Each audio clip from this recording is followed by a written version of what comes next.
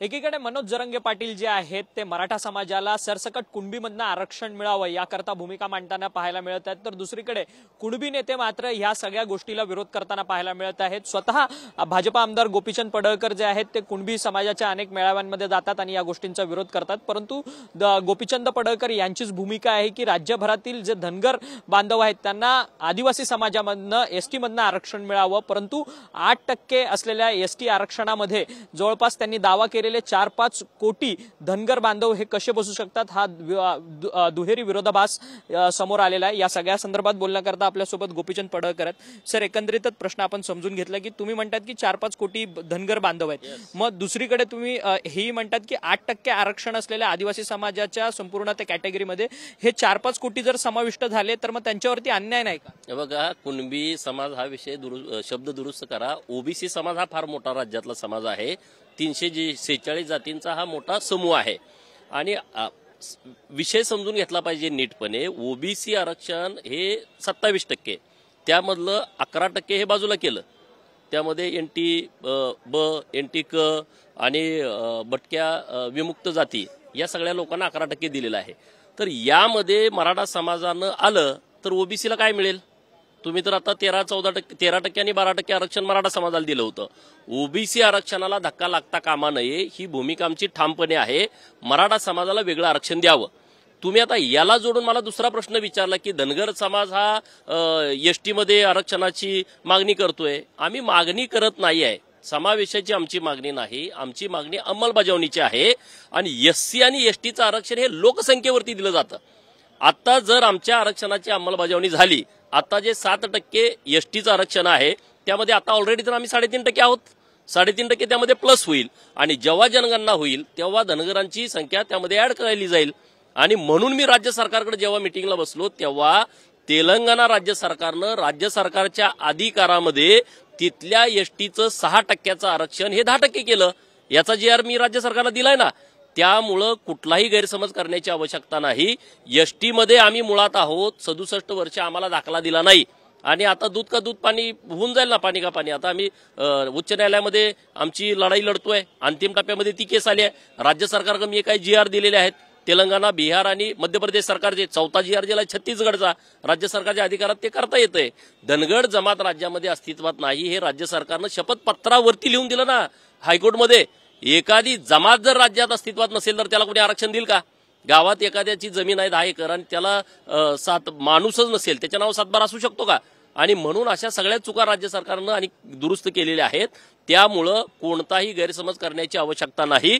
धनगर समाजाच्या एसटी आरक्षणाची अंमलबजावणी झाल्याच्यानंतर आमचे साडेतीन टक्के तुम्ही आता ऍड त्यामध्ये करा. साडे दहा टक्के होईल. आणि जेव्हा तुम्ही जनगणना कराल तेव्हा जेवढी संख्या वाढेल तेवढं आरक्षण वाढून मिळेल. खरं तर एकीकडे मराठा आरक्षणावरती सभागृहात चर्चा सुरू आहे आणि ओबीसीच्या आरक्षणाला धक्का न लावता मराठ्यांना आरक्षण दिलं जाईल. हे सातत्याने वारंवार तुमचे मुख्यमंत्री अर्थात एकनाथ शिंदे हे बोलताना पाहायला मिळतात. परंतु सभागृहात सदस्यांनी प्रश्न विचारला असता की सरसकट आरक्षण प्रमाणपत्र कुणबी प्रमाणपत्र हे मराठ्यांना मिळणार का? त्याच्यावरती मात्र उत्तर त्यांनी लेखी उत्तर देताना म्हटलं की अंशतः हे खरं आहे मग याला तुमचं समर्थन आहे नाही नाही नाही. आम्हाला आमचं कुठल्याच गोष्टीला समर्थन नाही. ओबीसीच्या आरक्षणाला कसलाही धक्का लागता कामा नये.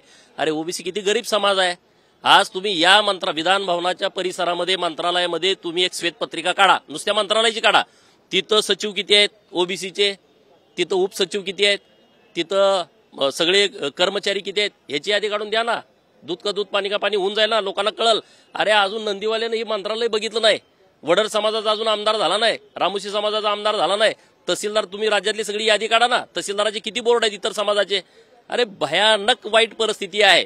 डॉक्टर बाबासाहेब आंबेडकर साहेबांनी आरक्षण देताना एक स्टेटमेंट केलं होतं एस सी आणि एस टीचे जी परिस्थिती आहे त्याच्यापेक्षा भयावह परिस्थिती अन्य इतर मागासवर्गीय लोकांची आहे. परंतु त्यांना मला एस सी आणि एस टीमध्ये स्थान देता आलं नाही. परंतु त्यांची परिस्थिती याच्यापेक्षा भयावह परिस्थिती आहे. आज तर ती परिस्थिती बदलली आहे का? आज पण ती परिस्थिती महाराष्ट्रामध्ये बदललेली नाही. नीट विषय समजून घ्या. कुणीतरी दादागिरी करावं आणि आरक्षण मिळवावं. असं आरक्षणाची प्रक्रिया नाही आहे. डॉक्टर बाबासाहेब आंबेडकर साहेबांनी ओबीसी समाजाला आरक्षण देता आलं नाही म्हणून राजीनामा दिला होता मंत्रिमंडळामधला. हे एवढं सोपी प्रक्रिया नाही आहे. आणि म्हणून ओबीसी समाजावरती अन्याय होताच कामा नये. ओबीसी समाजाची संख्या मोठी आहे. तीनशे शेहेचाळीसच्या जाती आहेत. त्यातल्या एकावन्न जमाती तर एनटीमध्ये आहेत. भटक्या विमुक्तामध्ये. अरे तुम्ही किती या लोकांच्यावरती अन्याय करणार आहे? अजून सरकारचा विरोधाभास वाटत नाही का? ज्या पद्धतीने सरकार त्याबद्दलची भूमिका स्पष्ट करावी ना. या बाबतीमध्ये आमचा ठाम विषय आहे की मराठा समाजाला आरक्षण द्या. मराठा समाजाच्या आरक्षणाला कसलाही कुठलाही आमचा विरोध कालही नव्हता. आजही नाही उद्याही नाही. महाराष्ट्रातल्या गरीब मराठा समाजाला आरक्षण मिळालं पाहिजे. पण तुम्ही ओबीसीचं काढून देणार? असं नाही. आणि म्हणून सरकारनं वारंवार भूमिका घेतलेली आहे मुख्यमंत्री उपमुख्यमंत्री महोदयांनी की ओबीसीच्या आरक्षणाला आम्ही धक्का लावणार नाही. तर त्याच्याबद्दलची काय भूमिका आहे ते सरकार स्पष्ट करेल. खरं तर काल विद्यार्थ्यांच्या प्रश्नांवरती विधान परिषदेमध्ये चर्चा करताना सतेज पाटलांनी सारथीमधल्या पीएचडी धारकांची व्यथा मांडली. खरं तर तीनशेच विद्यार्थी आता फक्त पीएचडी साठी पात्र ठरतील परंतु त्याच्यासाठी आलेली संपूर्ण पीएचडी धारकांची संख्या जी आहे ती जवळपास हजारांच्या वरती जाते. त्यावरती उपमुख्यमंत्री अजित पवार यांनी उत्तर देताना सांगितलं की पीएचडी कडून विद्यार्थी काय दिवे लावणार आहे? तुमच्या सरकारमधले उपमुख्यमंत्री आहेत, त्यांच्या वक्तव्याशी तुम्ही सहमत बघा पीएचडीच्या बाबतीमध्ये गेल्या वर्षी महाज्योतीच्या माध्यमातून सारथीच्या माध्यमातून आणि पार्टीच्या माध्यमातून मोठ्या प्रमाणात विद्यार्थ्यांना स्कॉलरशिप दिली होती. आणि आता काहीतरी राज्य सरकारनं अशी भूमिका घेतलेली आहे की सारथी बार्टी आणि महाज्योती यामध्ये फिक्स टार्गेट ठेवलेलं आहे. परंतु मला राज्य सरकारकडे विनंती करायची आहे सारथीला जे देता तुम्ही तेच महाज्योतीला देण्याची गरज नाही. कारण महाज्योतीची संख्या जास्त आहे ना. तुम्ही ओबीसीचा विशेष कोणी नीटपणे समजून घेत नाही. तुम्ही मराठा समाजाची संख्या आहे त्याच्यापेक्षा कितीतरी जास्त संख्या आहे ओबीसीची संख्या आहे. तुम्ही सारथीला एक रुपये दिला तर महाज्योतीला दोन रुपये दिले पाहिजेत. तुम्ही बार्टीला पण तेच देणार सारथीला पण देणार. मागं तर ते द्यायचं नव्हते. आता उलट लेवलवर आलंय. पण परत आमची मागणी सरकारकडे अशी आहे तुम्ही जर दोनशे जागा सारथीला दिल्या तर चारशे जागा ह्या महाज्योतीला दिल्या पाहिजेत. अजित पवारांच्या वक्तव्यांशी तुम्ही समर्थ आहात का? ते ते म्हटलेत की विद्यार्थी काय दिवे लावणार का पीएच त्यांनी वक्तव्य काय केलंय हे मी काल सभागृहामध्ये नव्हतो. मी त्या बाबतीमध्ये ऐकलेलं नाही.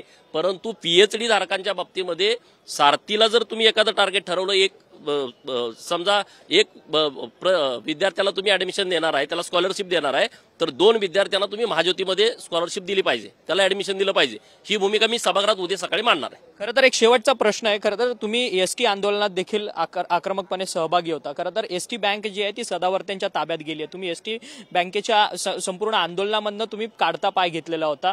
खरं तर आणि य- आता बाई नाही अक्षयजी. मी नुसतं विरोधाला विरोध करणारा कार्यकर्ता नाही आहे ज्या दिवशी महाराष्ट्रामध्ये एसटीचं आंदोलन केलं मी एखादा विषय हातात घेतला त्याच्या मुळात जातो. पवारांची पन्नास वर्षाची संघटना उद्ध्वस्त करून टाकली मी पंधरा दिवसामध्ये. आणि मग मी बाहेर कधी पडलो? तेव्हाही तुम्ही म्हणत होता हे एसटी बंद करतायत हे सरकारच्या विरोधात आहेत. ज्या दिवशी मला कळालं की बाबानो याच्यापेक्षा सरकार कुठला निर्णय घेऊ शकत नाही.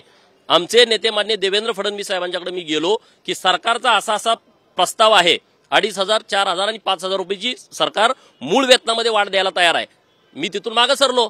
मी ज्या दिवशी त्या आंदोलनातून मागं सरलो सदाभाऊ खोत आणि मी त्या दिवसापासून या आंदोलनामध्ये काहीच फरक पडला नाही. आज तुम्ही एसटी कर्मचाऱ्यांना जाऊन विचारलं तर तुमचं योग्य होतं असं त्यांचं म्हणणं आहे. आम्ही काढता पाय घेणारी कार्यकर्ते नाही.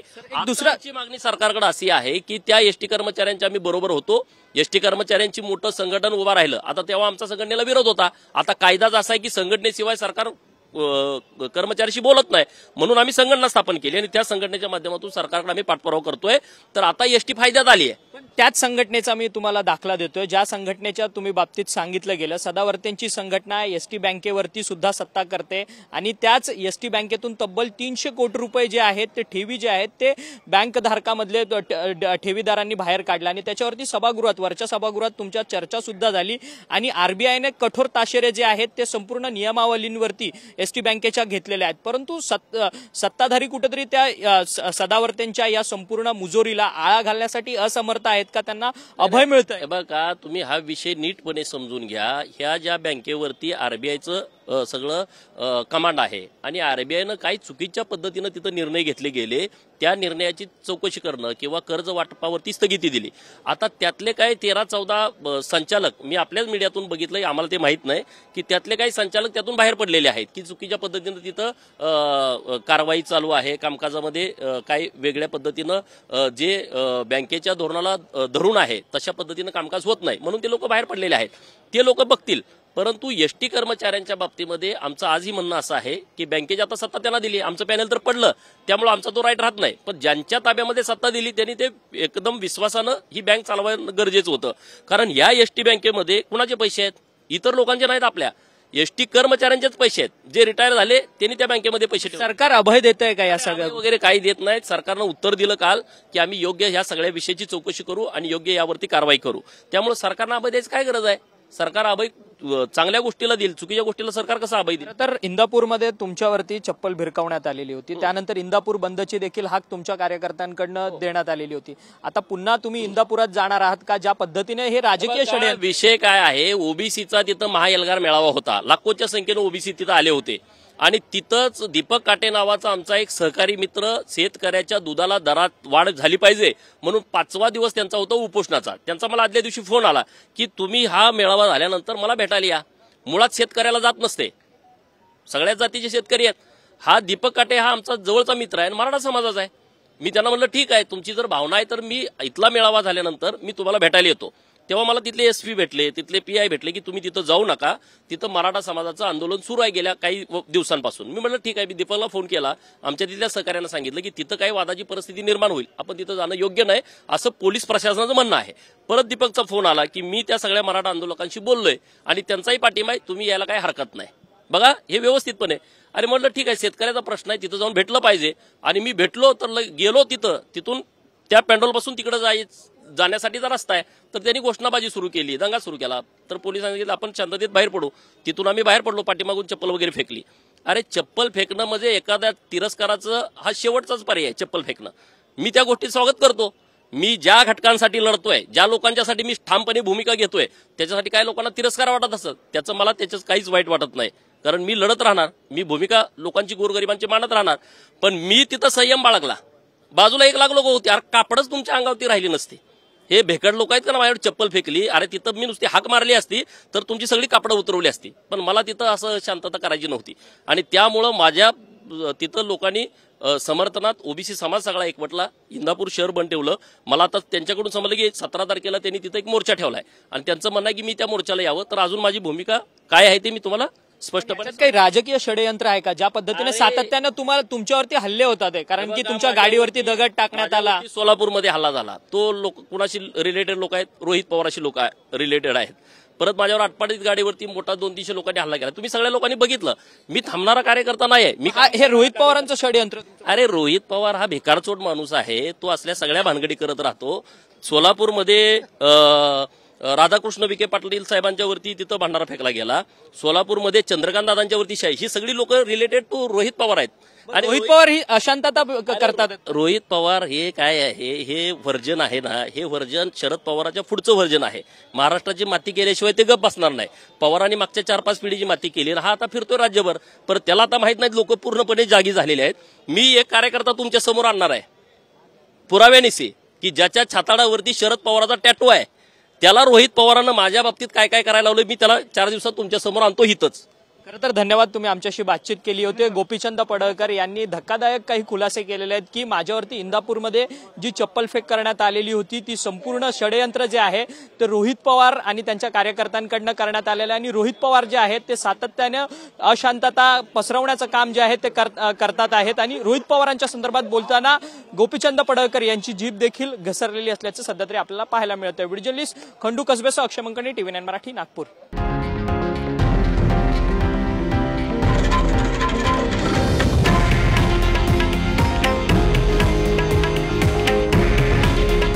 हे आहे देशातील नंबर वन न्यूज नेटवर्क. आणि आपण पाहत आहात टी व्ही नाईन मराठी. काळजी तुमची हित महाराष्ट्राचं.